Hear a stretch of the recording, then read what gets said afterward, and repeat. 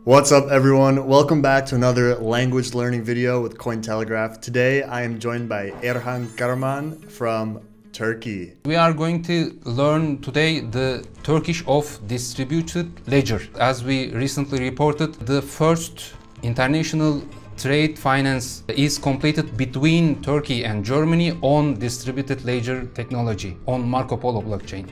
So let's start with the word. What what are the words? I'm, I'm ready. There are uh, uh, two words as the distributed ledger. It's dağıtık defter. Come again? Dağıtık defter. it's hard for even for uh, Turkish people. Oh no. I'm gonna I'm gonna absolutely murder this one. Let's start with distributed. Could you just say it like Yes. really slowly? Yes, dağıtık. Okay. Dağıtık. That's perfect. That's you landed.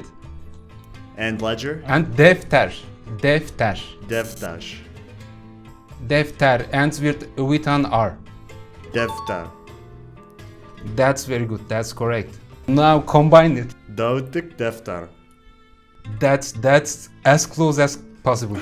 Yeah, I'm I'm not I'm not gonna do it again. That was that was good enough. Turkey is known as a pro blockchain and crypto friendly country. Our government, the Turkish government, has a solid uh, roadmap for a national blockchain infrastructure.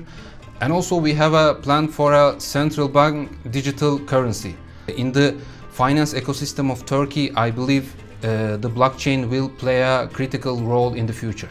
All right. Well, thank you so much for joining me today, Erhan. Uh, it was a pleasure, and I can't wait to do this again. Thank you, it was my pleasure, and see you around. Cointelegraph. Like, subscribe, and hodl.